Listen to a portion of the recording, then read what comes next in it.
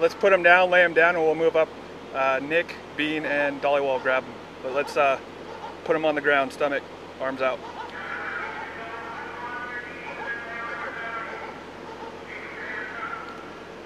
Bean and Nick, when we're moving up, I'll cover the uh, cab.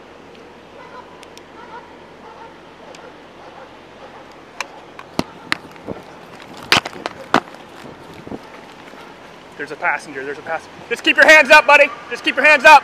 Dollywall, watch the cab. I got the cab. Around me. Go around back. Yep. I got the cab. Around me. Go around back.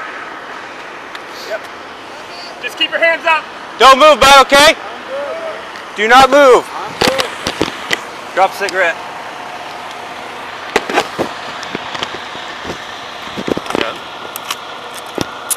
You guys can, you'll explain to me what's going on? Yes, sir. Is your name Mark? Yes, it is.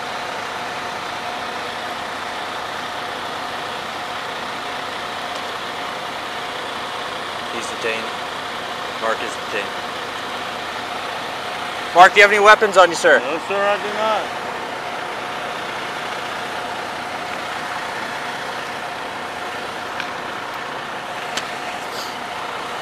Rolling my way? Yeah.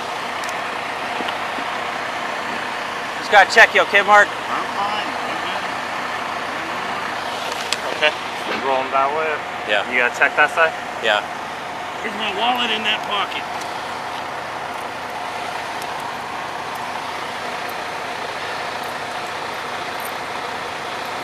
Just the wallet. Alright. You're gonna turn towards me and sit on your palm, alright? Alright, so go ahead and bend this knee in. There you go.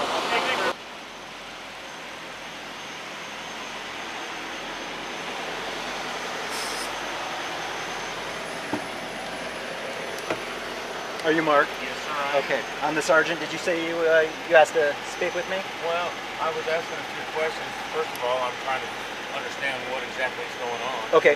Um, uh, before we get going here, I do got to let you know I am equipped with a body worn camera. It records both audio and video. Okay.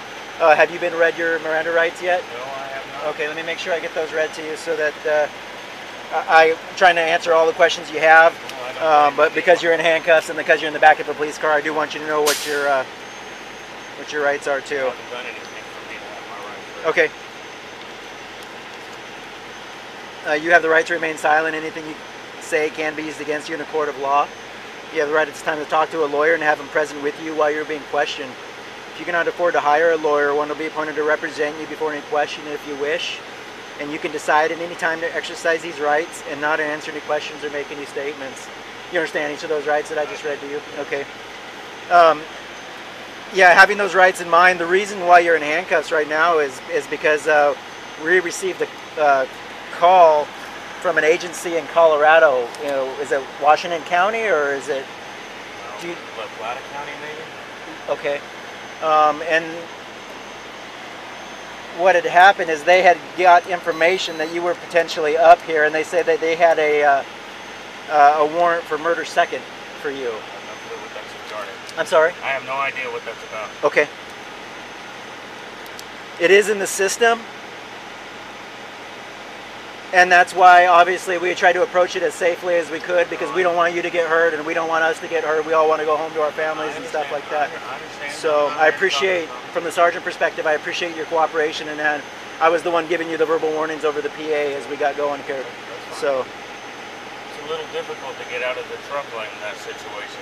Yeah. you guys understood well, it's like, I had a, and I'm looking at you going, holy crap, this guy's got a semi pointed right at me and I don't know you from Adam. And all, all they're telling me is that they got a murder I warrant for no, you. I have no problem with you Okay, so no, I, and I have no problem with what you did. I, I appreciate how cooperative you were with us. So. Yeah, I have no reason not to. okay, so here's where we're at right now. Um, Colorado has confirmed that that warrant is, is good. Okay, um, which means that we don't have a choice. That you're gonna have to go down to the Whatcom County Jail and get booked in until that gets sorted out. Well, and my, que- my question to the other officer was, Sure. when was this issue? I do not know the answer to that. he to said something to me about bond jumping or something like that. I have no clue what this is about. Okay. Uh, I don't know when it was issued. I know it's an active warrant, uh, and that's how the call came into us. Is that they're saying that that this warrants in the system and that they had information that you were uh, you were potentially in this area working on your in your trucking job. So Now, my phone is in the truck, okay. and obviously I'd like to be able to make a phone call. Yeah, here's and it, and here's the thing. Um, I, I, want to accommodate that if I can. Um, I got one of my officers right now making calls to Colorado, uh, and because of the nature and the investigation, I don't know if Colorado wants us to hold the truck for anything. Um, I don't know if it's related to the case. I don't know anything about anything. So what I have my my officer doing is calling and basically saying, hey, uh, we contacted Mark. Uh, he's fine. He's safe. He was in this big truck do you guys need this big truck as part of your investigation for any reason? If they say no, that the truck is good to be released, um, then I'm happy to, with your permission, go in there and grab that phone so you have that available to Now, you. Obviously, being a truck driver, I don't go home every night. There's Obviously. things in the truck that I'd like to keep in my possession or with me Yeah. if possible. I'm not, I'm not just going to leave it here either. So if, if they say, if they say that um, they don't want it held, um, we'll work on getting property or, or what. Um, I think that the, the uh, company itself was going to try and work on getting a secondary driver uh, to the scene here. Yeah, If the if the agency says yes, that we have reason to, that we want to search that truck or whatever, um, then it's going to have to go for a search warrant, and that's again, not, you know, that's beyond my control based on the nature of, of yeah, I can't the Colorado it's out of my investigation. control. I have So- no control over that. okay. Does that help answer that question at all? Well, I mean, my concern right now is the ability to communicate with people and let them know what's going on. Like an attorney or anything Well, like that? My, my attorney for one, and my girlfriend for another. Okay.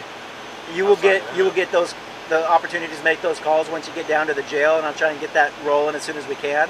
Okay. Well, now we're just putting together the, you know, once we get everything safe. Now we're working on just getting the fine points of well, all the what we need to be doing on our end, and then we'll get you uh, we'll get you where you need to go, Well, so you can start working on that. There's things in the truck that I'd like to keep in my possession or keep with me. I mean, I've got my checkbook and you know Like things like that. A small amount of items. Okay. Be Yeah. thinking about be formulating a list. I mean, I could get what I want out of the truck I need. Yeah. I mean, I got a refrigerator, but I'm not worried Well, just be thinking about the things that you absolutely need, and if they say they don't need it, I'm happy to you know put together a small bag of stuff that you, you can need. Uh, You can go down and get booked into the jail with you, so it's available to you when uh, when you get released or when you get moved or what. So um, Any idea how long we might expect that process to take? a question I have for you is Colorado said that um, they gave us a flag, and that, the reason why also why we were trying to keep it so safe is that potentially there's a handgun in the truck. No, you okay? There, okay. I noticed I have no the. the bullet uh, casing Oh, yeah. headband here. that's just a decoration. Yeah, no other that weapon, no firearms in the truck at all. personnel. You're former military. I'm not. Oh. Well, it was, uh, it Okay. was purchased for me. Oh, was it? Okay. Okay, but no firearms There's in the no truck. the Okay, all right. So let me work on uh, shoring up those little loose ends of the investigation now, and I'll I'll come back and I'll let you know what what, what I find out. All right, man. Thanks. inquiring on what's occurring. Yeah, are you Ricardo? Yes, sir. Okay, and, and that's Mark with you. Yes. Okay. Uh, Mark's got a murder warrant out of Colorado. Okay. Oh, shit. Um, and so we got information that he was here and that he was potentially armed with a handgun, which is why we brought you out so carefully that we did. Okay. We understand that, that you were th- with him, you're a student driver with him? Yes. Okay. Um, and so we didn't want you to be put in a position of being, you know, a hostage or anything. We don't know this dude. We don't know what his story is. All we have is an agency in Colorado saying he's wanted for murder. Okay. And is potentially armed with a handgun.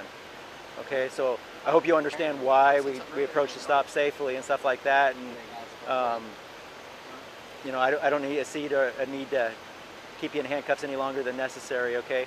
Um, you don't, have- have you seen a handgun in the truck? Or, No, I haven't. Okay, as long as I can pat you down, make sure you don't have a handgun, I'll get you out of those cuffs and we'll try and figure out what, what the next step is about what we need to do. Know, he's a good dude. You know, I know that something that something happened with his son. You know, so Yeah, and I don't know the whole story. I, you know, I saw a little bit on Google or whatever, um, and it sounded like a kind of a long and involved thing. But that kind of has come full circle, and, and Colorado's saying, you know, we want to we want to talk to this dude because we think we think he might have killed this kid.